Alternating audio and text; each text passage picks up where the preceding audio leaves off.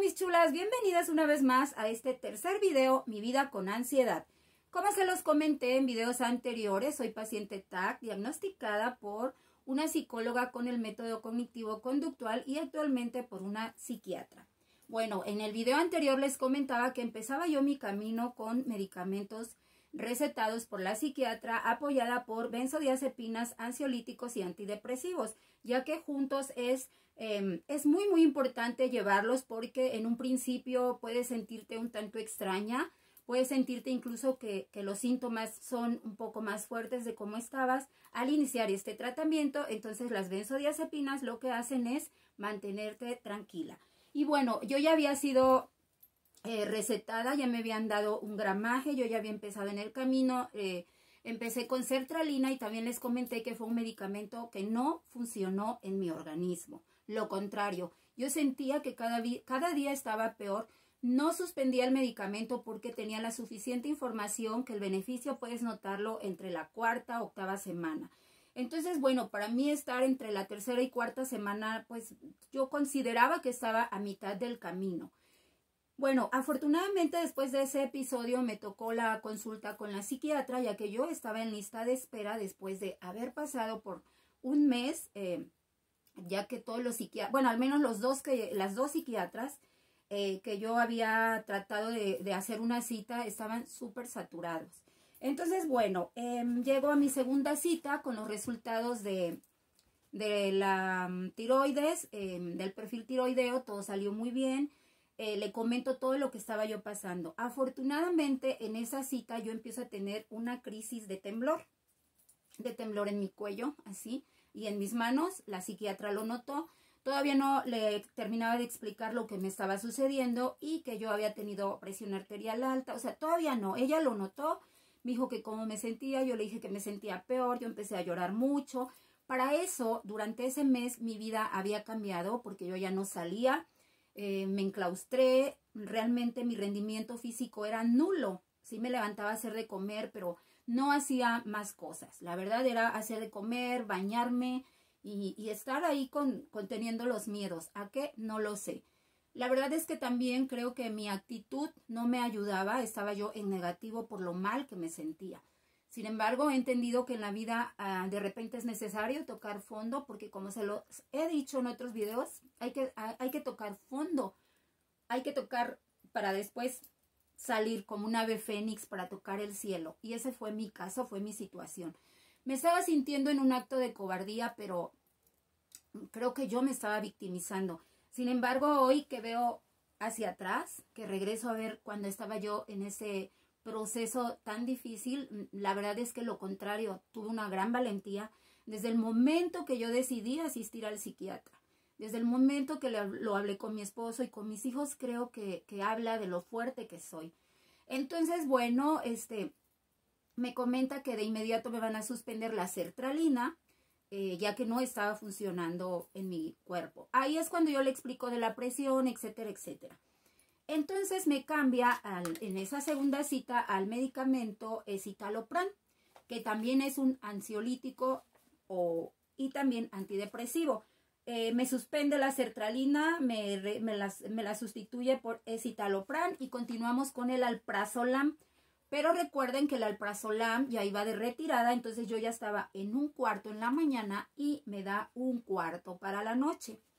Bueno, empecé a tomarlo eh, ya le dije de que se me había subido la presión y todo. Y entonces le comento la dosis que me había dado el médico de guardia del centro de salud. Me dijo que estaba bien. Además me dio otro medicamento. Entonces sí, ya recetado para el mareo. Para el mareo. Bueno, total que me regreso a casa. Este, compramos los medicamentos. Eh, como me dijo que la suspendía, pero de inmediato, Empiezo con el escitalopran tal como ella me lo describió, tantos días eh, la mitad. Y de ahí me dijo que iba a ser la eh, era, iniciaba con la mitad por un determinado número de días para después eh, continuar con una pastilla completa. Déjenme les digo bien exactamente. Iba yo a tomar media pastilla por seis días para después tomar una completa sin suspender y me da la cita para el mes siguiente. Entonces, ¿qué pasa? Que al cambiar yo el medicamento empiezo a tener problemas gastrointestinales derivados, obviamente, pues de esos nuevos medicamentos, porque también tenía la suficiente información de lo que puede ocasionar en tu cuerpo algunos medicamentos. Entonces, bueno, todo eso yo tenía plena conciencia y aún así tomé la decisión de seguir tratándome con los medicamentos, confiando obviamente en el profesional. Y bueno, empiezo a tener problemas gástricos muy fuertes, desde estreñimiento, desde diarreas, eh, me sentía con sueño. Ahí empecé a tener un poco de sueño en cuanto fue la mezcla de el alprazolam, como benzodiazepina que es, y el citalopram, que es un ansiolítico. Bueno, Así de la nada yo otra vez empecé a caer. Permítanme. Listo, es que me estaban hablando. Ajá, entonces, bueno, este, yo empecé a tener, a partir de ese cambio de medicamento, también la, psiquiatra me explicó que todavía iba a tener días difíciles porque eh, esos medicamentos tienden a, quedarse por algunos días, ¿no? antes de que los elimines. Entonces, bueno, eh, meto el escitalopran y no, no, no, no, no. Me sentía fatal, fatal, créanme. Era a veces diarrea, a veces estreñimiento, a veces vómito, a veces mareo. Y, saben que ahí mi, mi, salud decayó terriblemente. Estoy hablando justamente después del día 7 de abril. Mi salud decayó. Entonces, eh, ya no me levantaba, realmente caí en cama, me daba miedo caerme, me daba miedo, todo me daba miedo, pero no estaba presentando un cuadro de crisis de ansiedad. En esta ocasión mis miedos sí tenían un fundamento, ¿saben? Yo estaba consciente de que era lo que me daba miedo, entonces no estaba yo pasando por un ataque de pánico, realmente tenía una vida de pánico, que me pasara esto, que se subiera la presión, que me doliera el oído, que el tinnitus, bueno, ¿para qué les digo? Fue bastante difícil esos días. Eh, uno de los días que ya no, de plano, no quería comer, me sentía mal, eh, me, mi esposo me dice, ¿sabes que vamos con mi doctora? Por favor, vamos, que te vean, no sé qué, o sea, me dijo, ¿no? Que estaba muy preocupado por cómo había decaído eh, tan rápido mi salud, lo deteriorada, lo deteriorada que, me, que, que yo me veía, y bueno, no dejé de comer jamás, quiero que sepan. Ya saben que yo tenía un régimen bastante bueno, muy disciplinada. Lo único que ya no tomaba era café, obviamente consciente, ya el café estaba prohibido. Entonces, ok, hacemos la cita con su doctora. Eh, ya ven que le está pasando todavía un proceso con esa bacteria en la sangre. Entonces, este, pues bueno, ya la doctora me ve, también médico general, porque la médico general fue quien, la, quien canalizó a mi esposo con el infectólogo, el trauma, etcétera, etcétera. Entonces ella en cuanto me ve me dijo, ¿sabes qué? Eh, está muy deteriorada tu salud, vamos a retirar todos. Ah, bueno, al momento le explico que yo me sentía con mucho sueño a partir de la sertralina, no del escitalopran, el segundo medicamento que me había dado la psiquiatra. Obviamente yo llevé mis recetas, llevé lo de la tiroide y todo ello. Entonces ella me dice que, que este, me checa la presión y yo llevaba la presión 80, 50, o sea, baja, totalmente baja. Y me dijo que eh, estaba en desacuerdo en cuestión de los medicamentos que me habían dado y que el, el psiquiatra había autorizado que yo continuara con doble pastilla para presión arterial. Entonces, en ese momento, hijo, se suspende todo todo, empezando por el alprazolam, el citalopram, el de la presión, se suspende el del mareo, se suspende este creo que ya empezaba yo con cefaleas también. Bueno, total que estaba yo llena de medicamentos. Me da homeopatía, me dijo, te voy a dar eh, unos chochitos nada más, mientras tu, tu cuerpo elimina todo el medicamento que tienes a partir de tal día te vas a tomar una pastilla solamente para la presión y va a ser a partir entre 9 y 10 de la noche. Estos chochitos te ayudan para un poco tranquilizar, hace la función como una benzodiazepina, te va a controlar un poco la ansiedad. No te voy a dar tratamiento todavía para curarla porque necesitamos que tu cuerpo se desintoxique. Bueno, como buen paciente, obviamente creí en ella eh, me empecé a tomar la homeopatía y solamente una pastilla de, para la presión arterial. Entonces, em, estuve así algunos días, estamos hablando de abril, eh, estuve en tres, cuatro días, entonces hago la cita con la otra psiquiatra y dije, no, es que la verdad, eh, yo me siento verdaderamente mal. Yo quiero entrar en un tratamiento porque ya no eran crisis, yo estaba en un estado bastante terrible. Bueno, entonces afortunadamente eh, la persona que me recomienda a esta psiquiatra, muy, muy conocidas amigas, no era paciente, me atiende al segundo día. Al segundo día me atiende, ya habían pasado tres, cuatro días con lo que me había dado la doctora de medicina general y este, voy a la cita y, se los juro sin exagerarles, desde el momento, desde el momento, ah, pero hubo otro episodio, espérenme tantito. Bueno, entonces, el, como al cuarto día de, la homeopatía y eso, vuelvo a sentirme mal a las 5 de la mañana y me vuelven a llevar al centro de salud. Así, ya era la segunda. Entonces, bueno, ahí me atiende ya otra doctora y me dice, no, pues tenemos que regresar al alprazolam. Como les vuelvo a repetir, consciente que era un médico general, pero también le expliqué todo ah, con las fotografías, lo de mis medicamentos, perdón, y todo ese rollo. Entonces ella me dijo, no, sí hay que volver al, al, al, prazolam, pero ahora, ahora lo vamos a dar en gramaje, vamos a ir de menos a más, o sea, una practicante, una pasante, es una pasante, esas que están dando su servicio, que se quedan a dormir, entonces me, me, escribe súper bien en, en, la receta, me dice un cuarto, esto, lo otro, y me dice que me va a dar un medicamento para empezar a tratar la ansiedad, mientras yo hago alguna cita con la psiquiatra, que si yo no podía hacerlo de manera privada, ellos podían hacerme un traslado al Hospital General en la ciudad de Cuernavaca. Pasó, compré el medicamento, fíjense que cuando ella estaba hablando conmigo también me sentí tranquila y yo la miré una persona como de mi complexión, de verdad así, pequeña, delgada, pero, ay, no sé, super pila, ¿saben? Me dijo, a ver, está pasando esto, esto y esto, le voy a dar un medicamento de contención, más esto, más lo otro. Y yo me le quedo viendo y en mis pensamientos dije, ¿y qué tal si ella sí le atina? Imagínense, esa fue mi expresión, ¿y qué tal si ella sí le atina?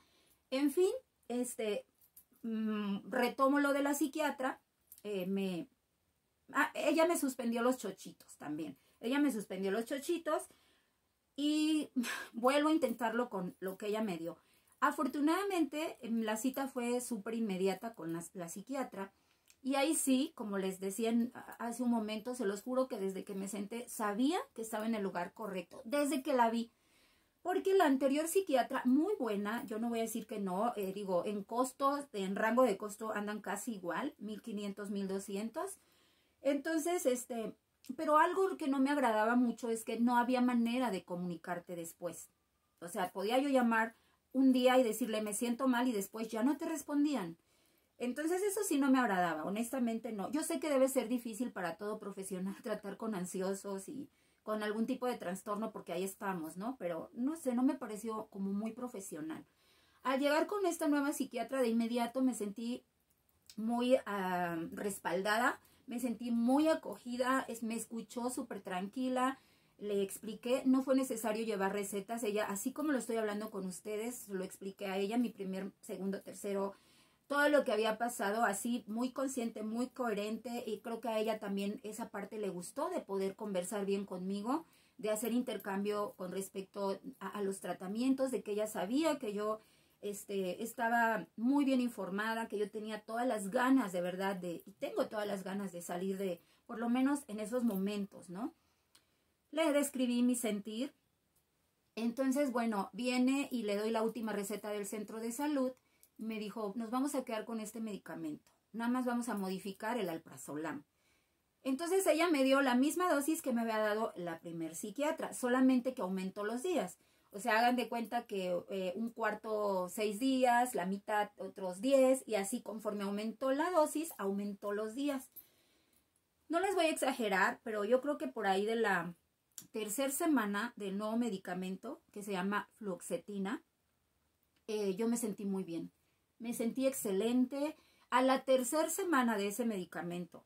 Eh, para entonces, mis niños, para entonces, ella me dice que yo ya estaba pasando por un cuadro de ansiedad mixta.